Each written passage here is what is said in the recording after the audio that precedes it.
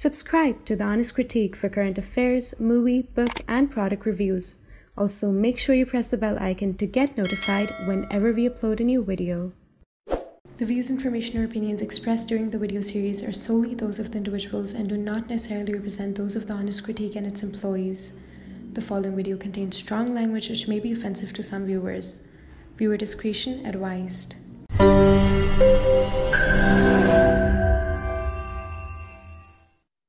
Welcome. This is Ratnadeep Chakraborty, and joining today for Book Talks is Kenneth Stern, the director of Bard Center for Study of Hate at Bard College, an award-winning author and attorney. He was the American Jewish Committee's expert on anti-Semitism for 25 years and was the lead drafter of the International Holocaust Remembrance Association's working definition of anti-Semitism, which has now been adopted by many countries around the world. He's also the author of a new book titled The Conflicts Over the Conflict, The Israel-Palestine Campus Debate, which examines why the Israeli Palestinian conflict has become such a divisive and toxic issue on campus and what can be done about it. So I read the book and I highly recommend it to all my viewers reading it. Uh, thank you so much, uh, Ken, for taking the time and speaking to us. Oh, thank you so much for having me. It's a pleasure to be with you. So I believe this is one of your first interviews about the book uh, uh, from an Indian audience. As far as I know, yeah. So let's uh, delve into the idea because uh, I, I thoroughly uh, enjoyed reading the book. So I want to first start about the definition uh, of anti-Semitism. So could you tell us a little bit about the experience of actually writing that definition of anti-Semitism and probably what are the challenges you encountered? Because anything which you try to define will also come with certain challenges because it certainly puts things in black and white. So if you could tell us a little bit about that. Well, sure. And that's a bit of an involved story, but I'm happy to share it with you. So as you were mentioning, I was the director of the Division of Anti-Semitism at the American Jewish Committee, where I'd worked for 25 years. And in the early 2000s, uh, you know, you may recall that there was an uptick in anti-Semitism uh, when the peace process collapsed, when the Second Intifada began, and there were attacks uh, that sort of spiked against Jews in uh, various places around the world, including uh, places in Europe. And there was a group called the European Monitoring Center on Xenophobia and Racism that was um, part of the, the structure looking at questions about racism and hatred and so forth in the EU. They're now folded into the Fundamental Rights Agency of the EU, uh, but it was called the EUMC at the time. And what happened is they put out a report that looked at anti-Semitism and particularly the anti-Semitic events that were happening in Europe in that period of time. And the report had a couple of observations, which I found of interest. One, which I fully agreed with, it said, look, we have all these data collectors in different countries in Europe, and there's no common definition, there's no common frame of reference to tell these folks um, what to include and what not to include in their, their country reports. So to have something that made sense across borders, that had something that had made sense across time so we could see about trends in anti-Semitism, I agreed with them fully that it was, it was, it would be good to have something uh, to be more directed to these uh, data collectors. Um, the second thing is that they said, well, for the moment, what we'll do is we'll have a, a type of a definition about anti-Semitism that looks at it as stereotypes about Jews, you know, Jews being greedy, Jews being clannish, Jews trying to, you know, control the world, Jews, all, all the sort of classic anti-Semitic stereotypes. And the reason that they did that, I think, was because they were facing a political problem. And the political problem was, well, what do you do if a Jew on the streets of, say, Paris was beat up as a stand in for an Israeli? Um, and they basically concluded look, if the person has these ideas about Jews that are these stereotypes, transfers them to Israelis and then retransfers them back to the Jew in front of them, that's anti Semitism but if somebody attacks a Jewish person because they're upset about an Israeli government action, I said that's lamentable, but shouldn't be included in a count of anti-Semitism. And uh, my personal experience growing up in the United States in the 50s and 60s, I mean, that, that struck me as, as, as problematic to say the least, because the parallel would be uh, imagine a black person that was lynched in the South in the United States because somebody had stereotypes about blacks, or, you know, liftless or lazy or whatever, and did that racism. But if, you know, if somebody killed this poor same black person in the same way because they were upset at a Martin Luther King speech or a passage of a Civil Rights Act, that wouldn't be included. So that struck me as, as nuts, and I started speaking out about that.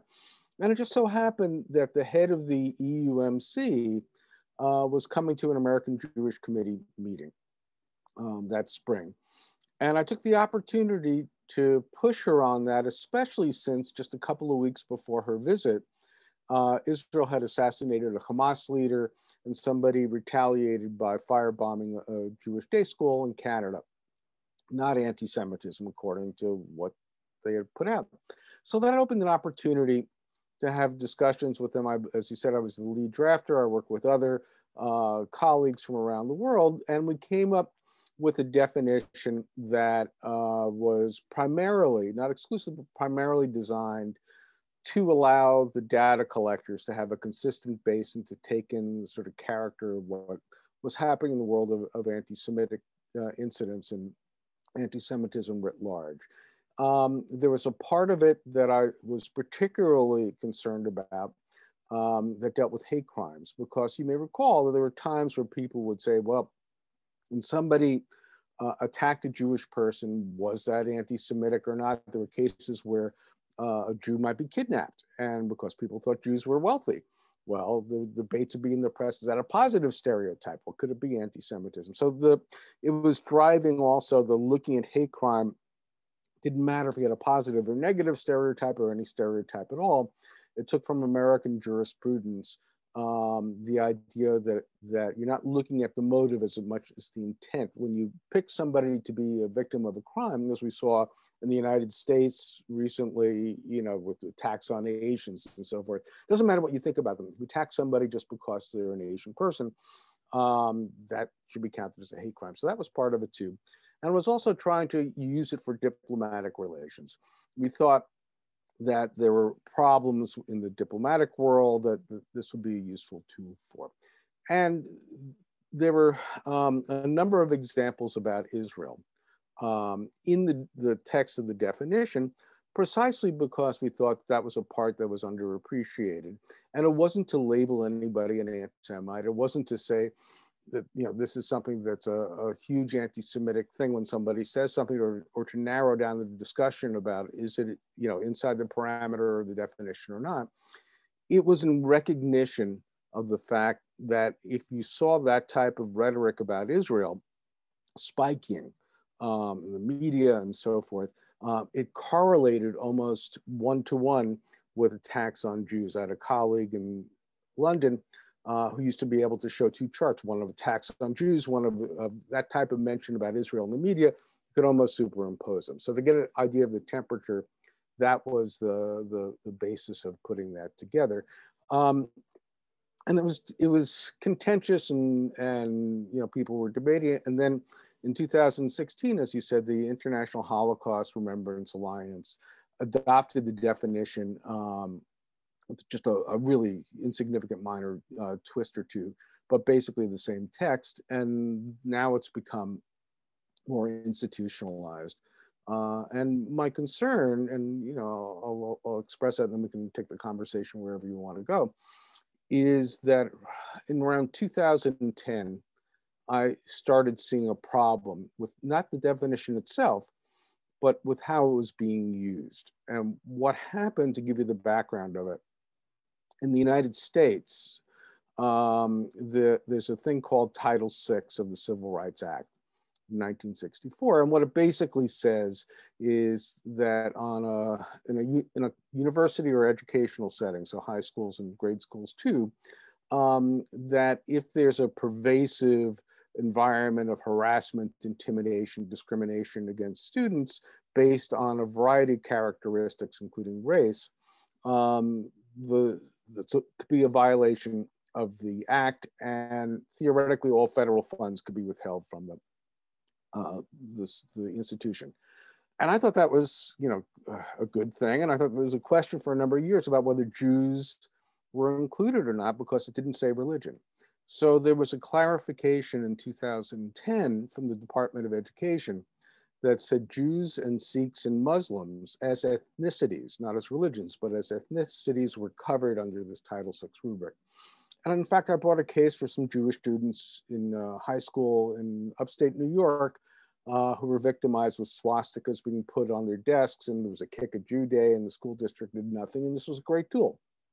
But what happened is some people on the pro-Israel uh, right, and you know the Jewish community on the right of the Jewish community in particular, started seeing, aha, here's a handy dandy tool, this new power under this Department of Education Title VI clarification and the definition, and then started going and saying, wait a minute, somebody's teaching something that we see as, as outside of the definition on uh, Israel. So a text in a class, a speaker invited in, a public program and so forth, and started in large measure basing these challenges uh, using that law to stop um, you know, try to chill that type of speech. And that was never what the definition was intended to do. And that's when I started speaking out about it. So it turned out to be the devil which you tried to create uh, in form of basically trying to address the larger question about anti-Semitism, but it's right now kind of used as the devil's uh, point of view. But I had a slight question because uh, in the book, uh, I will actually ask you a couple of basic questions about the book as well. But since uh, the definition came out, I want to ask you that uh, in the pro- uh, in the chapter, uh, the Anti-Semitism Awareness Act, you mentioned uh, reference to the prologue where you mentioned about the op-ed you co-author with Cary Nelson, uh, then president of the American Association of the University Professors, and you cautioned him about the abuse of the definition of anti-Semitism to chill pro-Palestine campus expression. So, tell the definition when you were writing it, did it came to mind that it can be put into blacks and whites and basically say uh, that if you do not belong to something which I think is what it is, you are anti-Semitic. Because a large number of conversations that we see on campus uh, revolves around this definition that uh, that has been put forward. That if I don't agree with you, you are this or that. The us versus them debate. Let us start from that definition aspect. Well, you know, a number of things to you know to be said there. First, what what do we want a college to do? Um, in my mind, what we want to do is we want to teach young people uh, how to grow, how to develop, how to become critical thinkers, how to look at the world, and um, you know perhaps one of the most fundamental things is to how do you react, how do you think when you're disturbed by ideas, uh, how do you you know navigate that, how do you recalibrate what you think about things, um, those are all parts of, of, I think, as you know, democratic societies in particular, we cherish the, producing young people who have that capacity, who are not ideologues, who are not looking to put things in one category or another and then move on, but to examine the complexities as opposed to trying to reduce things to simplicities. Um, and the first chapter of the book, intentionally, before I go into the Israel Palestine debate in the history and what's happening on campus and so forth, uh, I you know took the time to to really look from the field of hate studies what we know uh, about how people think, especially when they have their identity wrapped around an issue of perceived social justice or injustice. It isn't just Israel Palestine; it could be other issues too. Um, and there's a growing body of literature from the growing field of interdis, you know, the interdisciplinary field of hate studies and its and its components that shows really, you know, our minds work in, in ways that we should be cognizant of when our blood gets boiling about these issues. I mean, there's brain science where you can put somebody in an MRI and see how their brain actually functions differently depending on whether they hate somebody or not, or showing a picture of somebody of different race or not.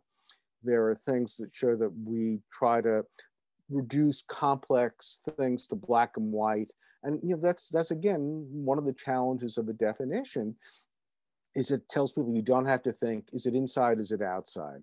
And that to me is, is terribly problematic. One of the things that I did at the American Jewish Committee way before, 15 years before, you know, I was, I was penning, you know, this, uh, this definition, um, you know, as a lead drafter, uh, I was working on issues on bigotry on campus. And the thing that I learned from that, working with a lot of different college presidents, is yeah, there are problems of bigotry on campus. Yeah, there are problems um, where you have a, a, sort of a conflict between the, the ideal of everybody should be able to say what they think because they should have the space to be wrong and then figure out what they think versus um, you know sometimes people are going to get vilified for what they think so how do you you create a campus that minimizes the vilification says that you know people can engage in ideas but makes it clear that nobody should be harassed intimidated discriminated against and so forth uh, how do you do that and the key is to find things that absolutely amplify or at least don't harm the idea of academic freedom. Uh, because what you really want to do on a campus is, again, not just give the simple out of here's a rule. We don't have to look at, um, you know, how people relate to each other, what's being taught, how staff is treating students. There are a whole bunch of different things that affect the environment and bigotry and you know you lose all that if you say here's a rule of what can be said and what can't be said what's what's outside the line and what's inside the line there's also you know to me a, problem with the sort of push towards you know groupthink. Ah here's a rule. Let's look you really want students to engage ideas um, and to experiment. I mean when i teach uh, i tell students the only way for sure to get a bad grade is to parrot back to me what they think I think. I may disagree with them in terms of their conclusions about particular things, but I want to encourage them to, to really examine what they think, to put forth their ideas, to give evidence for it. And I could care less if I disagree or if I think they're wrong, if they make a compelling case. And that's the environment that you want on a college campus. But when you start using a definition to label things, you stop, in fact, thinking and you destroy, in my view, uh, one of the fundamental uh, things that a college campus should do, which is to challenge thinking as opposed to stop thinking. And with this, I want to come a little bit about uh, to the aspect of how uh, human beings actually uh, process information and form opinions. Because uh, sometimes when someone's identity is very closely associated, so even in an environment where academia isn't promoted like a campus, do you think, uh, for example, it blinds us to just look at evidence from one side? Uh, you can also talk from uh, being a perspective of an attorney. When uh, you have to go in a direction, you will just seek information in that direction. So does that happen in, uh, you have experience in teaching in classrooms as well, and you have seen what happens in course. So if you could uh, interpolate and tell us about, tell to our audience, how does that happen when your identity is closely associated? do you let go of those inhibitions and look at facts from the other side as well? Well, I think you know the evidence is that when people get worked up because they see something threatening who they are, their defenses come up, and again they want to reduce complex things to simple aspects. And I think you know in some ways um, they become even less likely to to express or to exhibit any type of intellectual empathy. I mean, I always found it very uh, important when you're thinking about any, you know, sort of idea that deals with politics in particular, um, to or history, to have some empathy, to to imagine what it would be like if you were born in, in a different circumstance. Would you look at the world differently?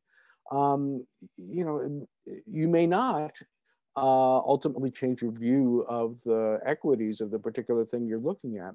But to not look at it from a different perspective, uh, to me, you know, diminishes your capacity to, to understand something. When I was a, a trial lawyer for many years, uh, before I, I, became involved in the American Jewish Committee and that now, you know, in academia, I could never, I was a criminal defense attorney, I could never represent somebody in a case if I didn't spend at least some time thinking through, okay, if I were the prosecutor, how would I approach this? Because I think it would be malpractice not to do that. You have to imagine this different scenario. Um, and I think you have to do that, um, you know, with issues around identity and issues around politics of, of Israel, Palestine too, to really have that capacity to imagine, okay, if I were born in this circumstance, would I look uh, things somewhat differently? And education should tease those things out it should encourage students to do that.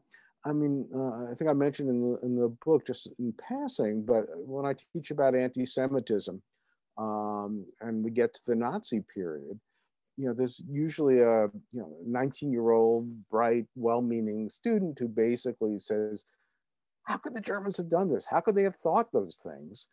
And you know, it's a good question, but I sort of put it back into okay, let's imagine.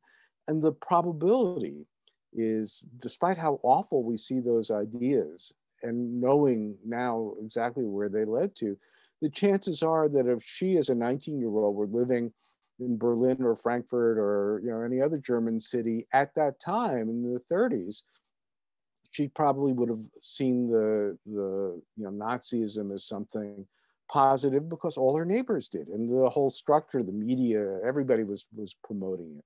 Um, so you know, it's important to have some historical perspective and not just to get into the sort of purity thing where we, you know, dislike the politics or we like, and ugh, you know, how could people do that? It's more important to understand how people could think that way. In the United States now, um, I don't know if you know the news media here, but we have, you know, CNN and MSNBC are sort of the liberal things on cable news. And on the sort of right wing, there's Fox News. And then to the right of that, there's the One America Network and a thing called Newsmax.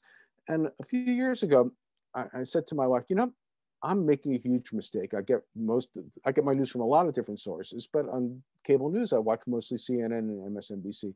So I have to watch a lot of these other things because there are millions of people there that see the world through that lens.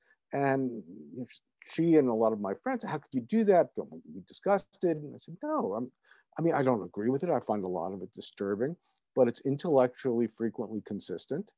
Um, and I have to understand there are millions of people that see the world that way. How can I not have the imagination to see what they're seeing and to try to think what they're thinking to understand that dynamic better because it does have an impact on all our lives. Yeah. And uh, I want to talk a little bit about the book, which we should have started with, but uh, we a little digress into the definition part.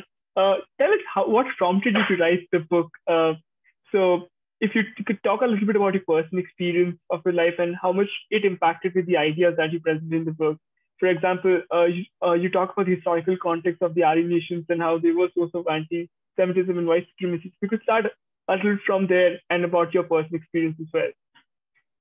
Well, I, think I heard most of that, but so correct me if I'm wrong. But um, you know, you're asking what my experience is, how they led me to the, the book. But the yeah the yeah so and I the mean, historical context. And it's what? The historical context that you presented in the context. book, the Aryan sure. nations part. Okay, sure, sure. So you know what what happened was that um, there was a my background is I'm you know I'm, I'm 68. I've had a, a, a, lot of careers in different different uh, venues in a way. I said I was a trial lawyer. I was at a National Jewish Agency, um, and I, you know, first started thinking about hatred and anti-Semitism when I was a trial lawyer, and I was working at issues representing American Indian movement folks and others, and seeing the hatred play out, and seeing things of anti-Semitism too, uh, and seeing it playing out among political allies and people that I found, um, you know, including the neo Nazis, were having an impact. I was grew up in New York City, but I was out in Oregon, where those folks were much more active and much more uh, visible. Um, you know, then what happened was there was a group called the Aryan Nations that uh, was really sort of the ground zero of neo-Nazi white supremacy in the United States. It was in the northern panhandle of Idaho, but it had impacts in uh, various parts of the country. They were doing robberies, they did assassinations, it was terrorism. Um, and there was a, a guy who uh, I wish more people knew about He, He's to me one of my heroes, a, a guy named Bill Wassmuth, who was a parish priest in northern Idaho. And he uh, started speaking out when these folks were intimidating the few blacks and Jews and others in the community. And they firebombed his house in retaliation with him in it. And that just, you know, pissed him off basically. And he left the priesthood and organized this group that pushed back against the Aryan nations uh, and all forms of hate in that region. And he had asked me to come and speak at a uh, conference, and I asked Bill. I said, "You know, what would you like me to do?" He wanted me to give a keynote, and he said, "Well, challenge us to do something that we aren't already doing." And I, I said to him, "You know, that's a tough ask because when I talk around the country about what people should be doing to organizing against hate and hate groups, you're the model I hold up." Um, but then it occurred to me that the people that came to his meetings, his annual meetings, were people like me representing national uh, religious and, and uh, ethnic agencies. There were police officials. There were uh, labor union members. There were, you know, others that were coming because they were concerned about this because of the work they were doing for their day job. Academics were coming because they were personally interested. And there wasn't the connection to um, you know the ongoing anti-bigotry work and on top of that it dawned on me that and, and bill picked on this very quickly that the groups that were fighting bigotry writ large or a particular type of bigotry weren't being informed by the academic community. We were sort of shooting in the dark, to use his words. We didn't know what worked and what didn't. We know what felt good. We know when there's something that made us angry and how we reacted. We knew what would be good for getting fundraising, um, or at least we thought we did. But there was no sort of how do you know that you're having an impact on how people think? How do you reduce bigotry in politics? How do you, what do you do? How do we know that? So that was the beginning of the idea of the the field of hate studies. And that informed, again, a lot of what, uh, what was in the first chapter of the book. And again, what I'm, you know, thinking uh, as, as I, I was writing the book, um, and it's in this other aspects too, how to, how to think about what actually has an, has an impact. And part of that, again, looks to issues of, of um, not every institution is exactly the same. A campus is not the same as a business, is not the same as politics. Um, but you know, part of what I wanted to do is to take what we know and apply it to the particular institution that's the campus to try to again make it be the place where students welcome being disturbed by ideas um, and learn how to think you know for themselves. Uh, and moving forward, uh, how did it all start in campuses? If you could uh, give a brief background of how this debate started, unfolded. Uh, for Israel, we can understand that after the formation about in 1948, we saw there was a certain amount of academic discourse. So how did the debate all started in campuses where the other group is trying to censor the another? That's a great question. So if you look back, I mean, again, for people who know the sort of the formation of, of Israel, it was you know, declared in 1948. The UN in 47 created uh, what was going to be an Israeli, you know, Jewish state and an Arab state. Um, and you know the background. I have the the competing narratives in the book. The Jewish narrative uh, to inform the story is that Jews are connected to the land of Israel. Jews, you know, that's where Jewish people came from. It's where the temples uh, were um, the language spoken there in biblical times is the language that the you know Israelis speak now. There's there's a strong connection to the land, and there's a um, given the history of anti-Semitism in Europe, particularly the pogroms, let alone before the Holocaust. The pogroms were attacks on Jews in the 18 late 1800s and early 1900s.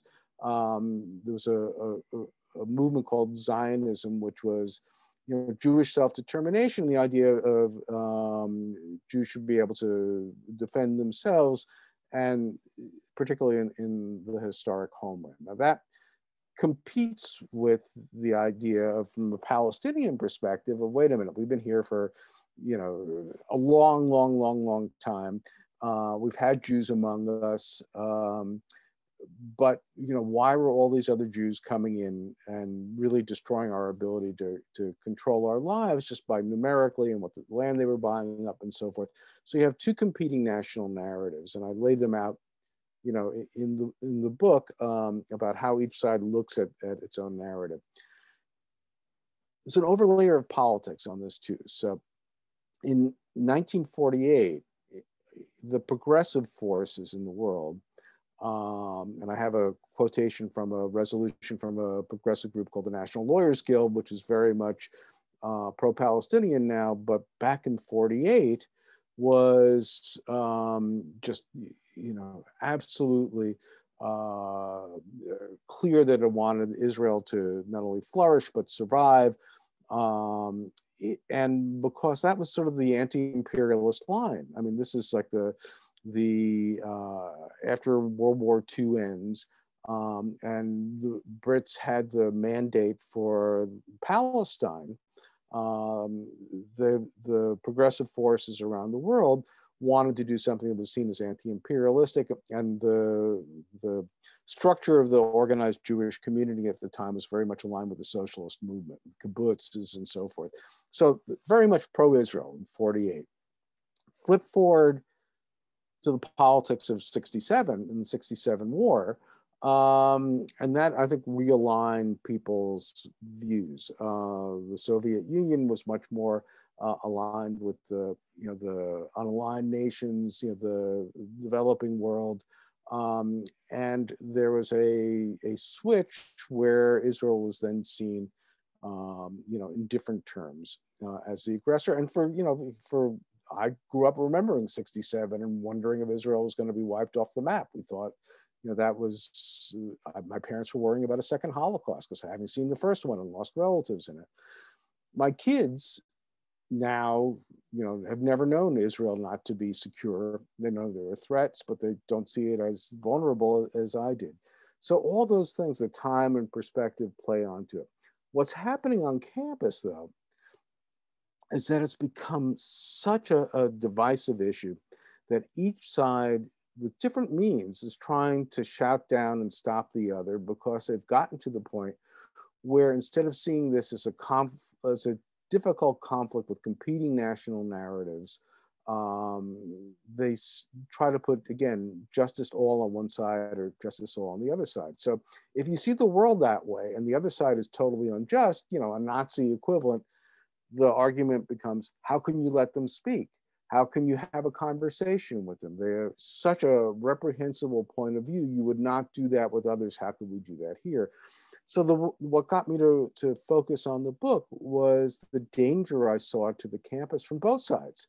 I saw the pro-Palestinian side sometimes trying to stop speakers from speaking at campus. I saw them promoting an academic boycott of Israeli academic institutions, which is really a boycott of Israeli academics.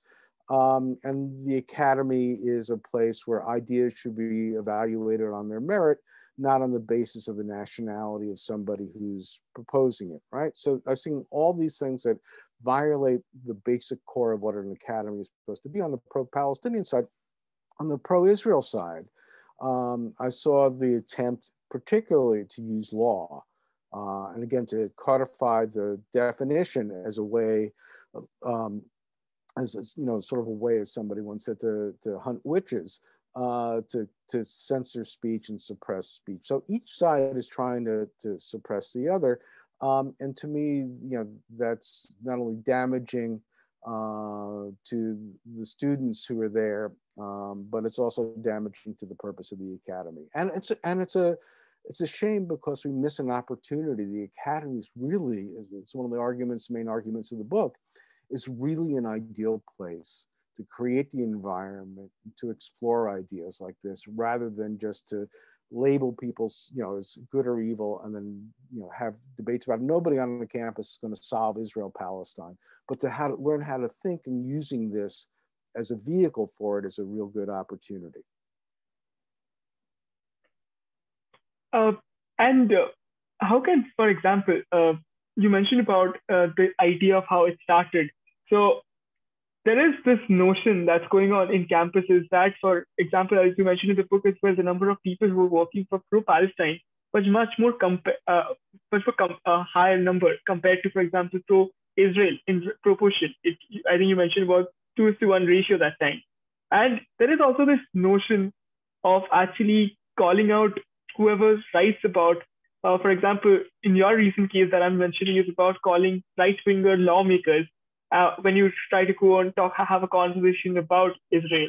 So, do you think there is an academic boycott, especially when a conversation happens and uh, generally the notion goes that the left supports the pro-Palestine stance and which is more like an academic stance, and when the right says something about the Israel, is always looked down upon.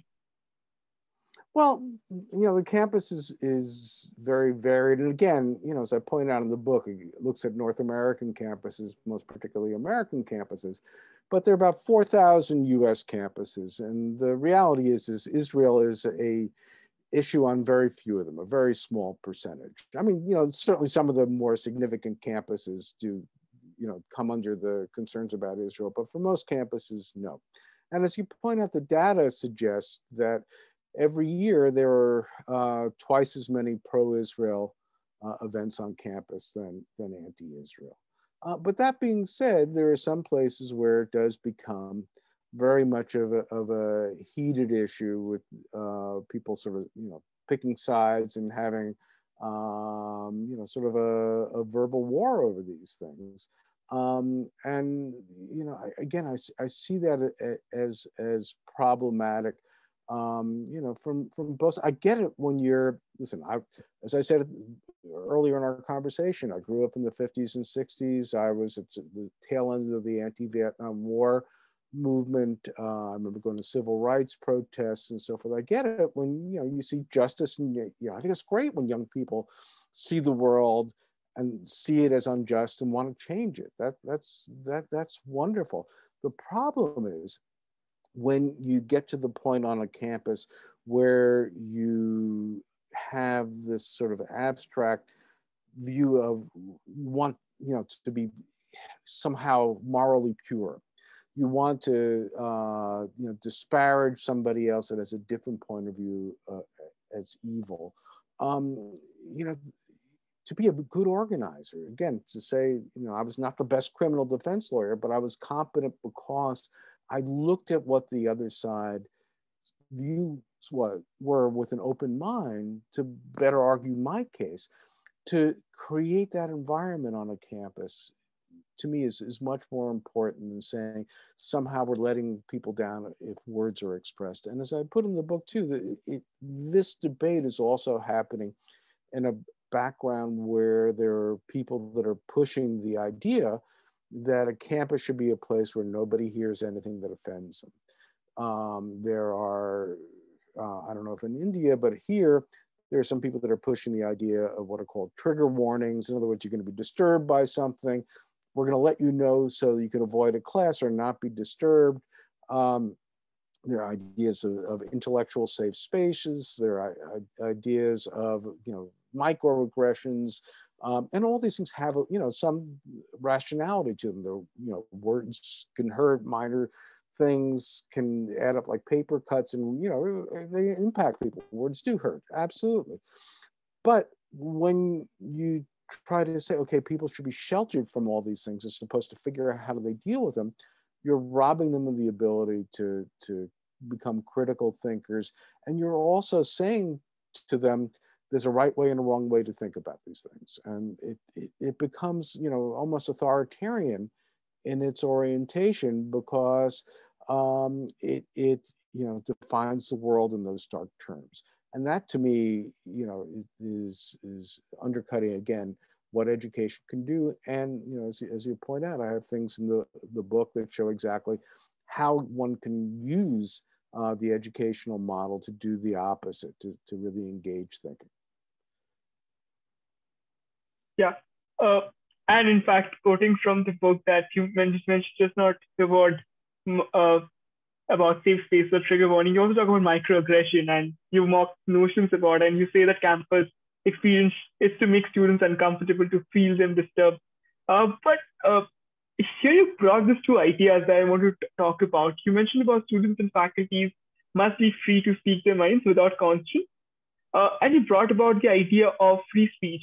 So how do you balance that idea of free speech when it comes to also hate speech at the time? And you talk about the idea of hate studies initially. So what's that line you're drawing? Because when uh, you do not have a safe space, where do you bring that idea of something which has been said is anti-Semitism or something which is uh, bringing the idea of a particular community uh, at uh, hand. I mean, uh, questioning the existence of an entire identity. So how do you draw that line actually? Yeah, it's a great question, and you know, I'm fully cognizant of different countries have different standards of free speech. In the U.S., we probably have the the most protective in terms of the how the First Amendment applies. Um, but when you're talking about an academic setting, the idea of academic freedom, which isn't synonymous, but it, it's related to, to free speech, um, to me, you know, is the, the core of this. So what it comes down to to me is that the distinction is not between what's hateful and what isn't. The distinction is between, on one hand, you don't want you want to make sure it's so students clear you don't want to have an environment where people are bullied. You don't want to have an environment where people are harassed. You don't want to have an environment where people are intimidated or discriminated against. Absolutely. That's clear and doesn't have to be on a basis of a racial or religious or ethnic or other class you know sexual or any other category no student should be harassed or bullied or intimidated you know or discriminated against period so that's one bucket of what I think administrators need to focus on. When you're talking about ideas, though, um, ideas that are not part of, um, you know, I'm harassing you by I'm saying these things to you at three in the morning and knocking on your door. That's harassment. Doesn't matter what I say.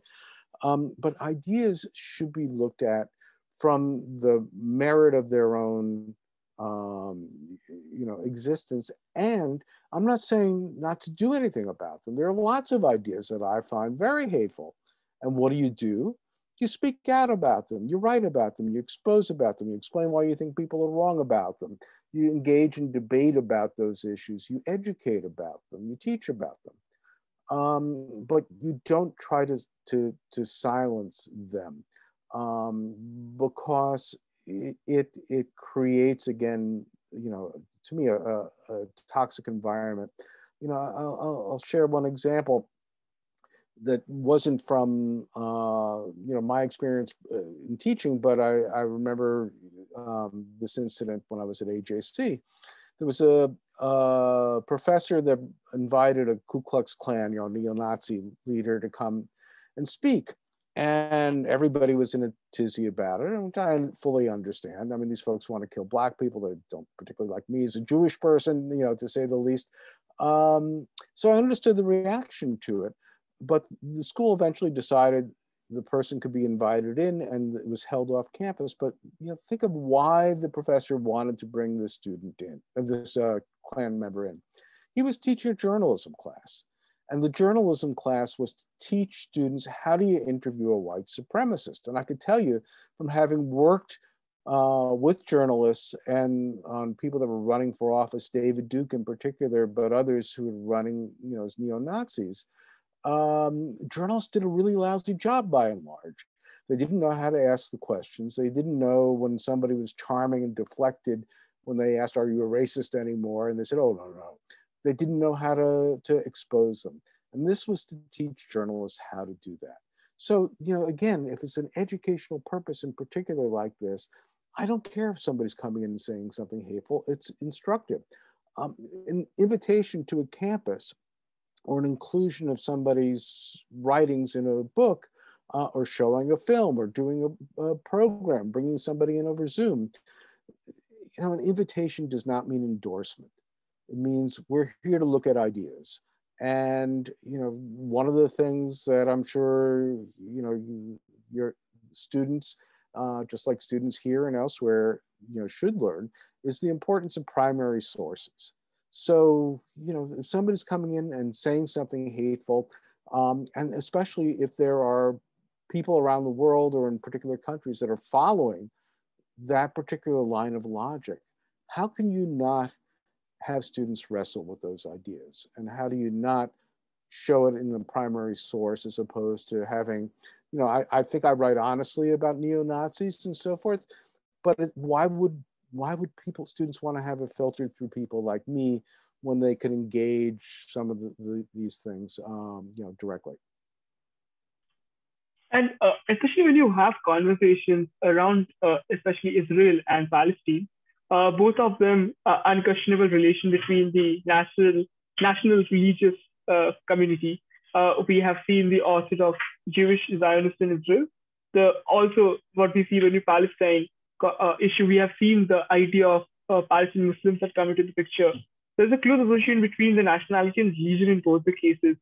Uh, how do you have complex debates in academic discourse and how to have academic discourses when there's such a symbiotic relation between nationality and religious identity? Well, I think it's more, you know, it's, it's not as simple as you think because, or as you portray, because in the Jewish community, there's a lot of religious based difference in terms of how people think about Israel. For example, you have uh, Satmar Jews, which are Hasidic, ultra Orthodox, that are anti Zionist. You have very involved Jewishly young people who are in a group called If Not Now uh, that are also anti Zionist, uh, at least many of them are. Um, so their religion leads them to views about the Jewish state in different ways. Um, so it, it's, you know, it's not just a, if you're an Orthodox, you're more right on Israel. If you're uh, Reform or, um, you know, more liberal in your Judaism, you have a different view. There may be, I mean, my views, I'm a, I'm, I'm a Zionist. I'm a, you know, my wife is a rabbi in a Reform movement and so forth. Um, but there are lots of different ways to look at it look at questions of Israel based on your, your Jewish identity. And that's one of the things that concerns me about this whole debate on campus and particularly how um, you know the some of the legislation about the definition is being used because there's really an ongoing debate inside the Jewish community worldwide about whether being seen as inside the tent requires a particular view of Israel. Does it require you to be a Zionist, um, you know, as I am? And I don't know how that, that question is going to be answered. It's an internal Jewish communal debate. Maybe it can't be answered. But I never want government to decide it for the Jewish community. And by pushing the definition uh, to try to get the, the government to endorse it that way, does say something about um, you know how the equities of that debate are going to be decided. I just don't want the government to be involved in that. Yeah. Uh, so I have a couple of last questions uh, before we wrap this up. So uh, you also said that some young Jewish activists are anti-Zionist in large measure because of their understanding of Judaism and their impetus to justice. So do you think this uh, Jews from students, for example, you mentioned in the book Students for Justice in Palestine, Jews for, for Peace, and if not now, promoting anti-Semitism in some way? And I have another question. Uh, similarly, you mentioned about a lot of academic groups as well. Uh, for example, uh, the Canary Mission and uh, the AMCHA for blacklisting academics and even students who cross ambiguous lines in criticizing Israel. So you also criticize those groups uh, for promoting uh, anti-normalization, for example. So tell us about these two things in detail for our audience, actually. Well, sure. You know, again, it, it boils down to a, a lot of, of people feeling very zealous and righteous about their, you know, positions, which I understand, but not, again, engaging to my satisfaction what a campus ought to be about, about how you have discussions with ideas. So the, you know, the, the progressive Jewish groups, If Not Now and uh, you know, uh, Jewish Voice for Peace. And so, I, you know, I don't generally accuse them by their political positions of anti-Semitism. I know some people on the Jewish right who say anti-Zionism is always anti-Semitism, will, um, especially for Jewish Voice for Peace, for example, um, say that it's anti-Semitic. I don't. I think anti-Zionism can or cannot be anti, you know, anti-Semitic. It's a much more complex thing. I've written about it, but it's not that simple, uh, despite the fact of people wanting to, you know, to, to, to push it that way. Um, you know, in, in that context, um, the, you know, the idea uh, becomes we are so, um, you know, right on this, we are so correct on this, we again want to stop, you know, the other side uh, from, from speaking. And again, I, I I, I find that problematic. I think that it's important to speak out when people do go to the, you know, to historic anti-Semitic tracks, right? When the, the anti-Semitism, you know, we're talking about the larger definition, anti-Semitism in its core is two things. It's conspiracy theory about Jews trying to harm non-Jews and gives an explanation for what goes wrong in the world. So Jews poisoning wells, Jews making up the Holocaust, Jews killing Jesus, Jews, you know, all those things fit into that. There's sometimes that anti-Zionism is expressed with those tropes and should be called out because it's using those tropes, not because it's anti-Zionist. So that you know that's that's on on on one side. Um, you know, on, on, the other side, I, in, you know, the pro-Israel side, I, I see also trying to narrow the discussion um, on some of the campus, not letting people that want to talk about the occupation and you know bringing in I, soldiers from the Israel Defense Forces to talk about things. Again, trying to make it very simple, and this is the parameter of what we're going to talk about and I understand it from the funding perspective. I mean, people think, why am I, if I'm spending money because I'm concerned about these issues and I'm concerned about Jewish students, why do I want to spend money bringing people who are going to say things that others at least are going to take um, and promote uh, things that vilify Israel? I don't want to fund that, as opposed to thinking that you want to really create a large tent for having these discussions. On the other side, the anti-normalization, I find it problematic too. Listen, I, I, I get it. I understand the internal the internal logic of it. Um, but again, it's it. I mean, the the idea is again, you wouldn't sit down and have a cup of coffee with a Nazi. You wouldn't. Why would you want to talk about um, you know the the Israeli narrative when your view of the world is that the only narrative that has any justice to it is a pro-Palestinian one. If that's where, where your thinking leads you to, then it becomes the conclusion that you couldn't have a discussion. And I think that A, I think morally that's wrong. I think I have, I quote um, a moral philosopher, Jonathan Haidt, in my book that says morality both binds and blinds. And I think this is an example of it. It, it binds people together to feel they have a moral mission. In this case, you know, the pro-Palestinian, there's only one side to this um, and it blinds them to just as it blinds you know the uh, the morality on the on the strident pro-Israel side blinds them to thinking about another way of looking at these issues. And when you come to that conclusion, it's, it's saying it's normalization.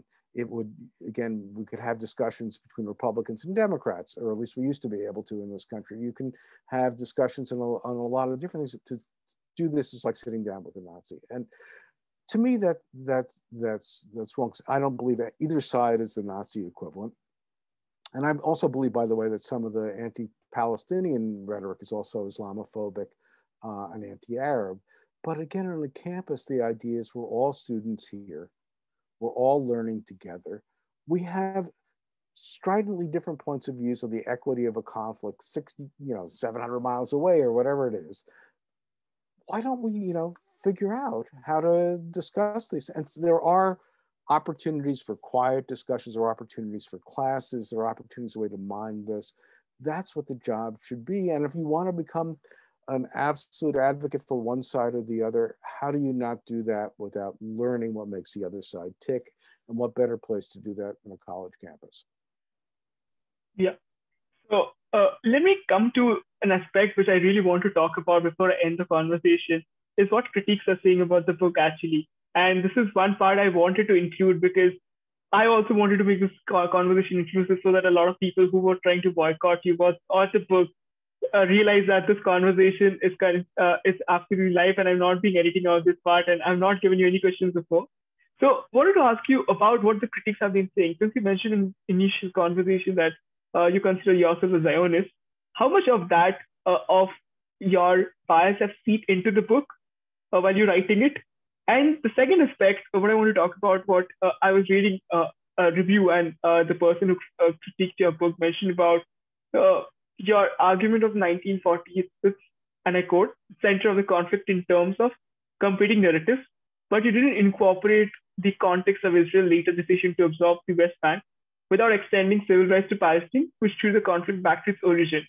And uh, the, the context that has been talking about is the shortcoming of the book in terms of actually trying to go through that history part.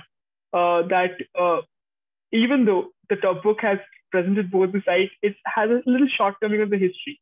So is that is because of the bias that comes from your understanding of uh, you earlier mentioned, or was it a conscious effort because this book was not about the history but of the larger campus debate around it? Yeah, I mean, that's a great last question. I mean, the the you know, obviously everybody has biases, and I I always try to be upfront about mine when I write uh, and when I speak and when I teach. Um, but you know, I would not say I do, you know I'm a, an un, a, you know a, an abstract scale that has no things. I'm certainly informed by my life experiences and what I've seen and what I've thought and what I've read and all those things. But you're right. I mean, the book was not about this is what you need to know about the Israel-Palestine conflict.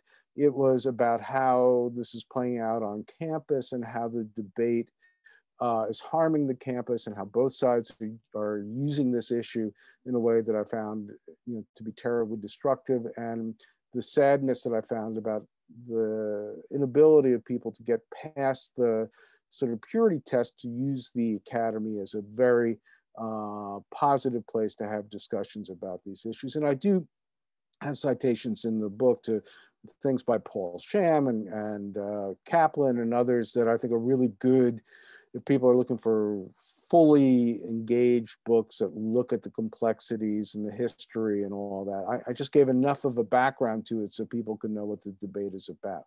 Um, in terms of the, you know, people going after me, it's, it, I find it sort of funny. Look, as I told the people, I wrote a book about the US militia movement right after the Oklahoma City bombing uh, and I was speaking about it, and I had armed militia guys coming to you know my talks. I'm less concerned about you know people having a different point of view about it, about Israel Palestine. I mean, I, I, you know, I, that doesn't bother me. But what's interesting, and I think sort of telling, is the two instances where people have protested that I was invited to speak on a campus uh, one was the Zionist Organization of America, and actually, ironically, a, a local chapter of the American Jewish Committee in uh, Temple University. Why? There was a discussion there about anti Semitism, and um, they believed that I was not sufficiently Zionistic enough and just blasting people on the, on the pro Palestinian side. Flip forward a couple of months, I'm speaking at Barnard College, uh, doing a talk on anti-Semitism and a workshop on academic freedom. And uh, the Jewish Voice for Peace chapter says I shouldn't, you know, be there because I had a hand in writing the definition, and you know, it's a horrible thing of how it's been abused. I mean, the irony is people on both extremes said somebody shouldn't be able to be heard on the campus, or at least had serious objections to it. And the, the further irony on the, the Jewish Voice for Peace side is just a few months before that, they're sort of philosophical cousins in the UK because the definition is used there to really go after a lot of pro-Palestinian speech on campus, invited me to do a lecture about uh, you know some of the things we were talking about today, about how the definition came about and how it's been abused. So again, you know, I saw, this is a, a good place to you know, to end, uh, I think. Uh, I saw a bit of graffiti 50 years ago when I was a first uh, year student at Bard College. And it said, if I didn't believe it with my own mind, I never would have seen it. And I think a lot of people try to you know, view the world that way. I see something and I try to make it conform uh, you know, to, uh, to my worldview rather than thinking through those issues. Yeah, uh, and before we let you go, this is uh, one thing that I wanted to ask you, if you can answer it very short. You started the book uh, with the idea of jurisprudence from the United States, and you mentioned about this case of Wisconsin versus Mitchell, which was a landmark case of hate crime.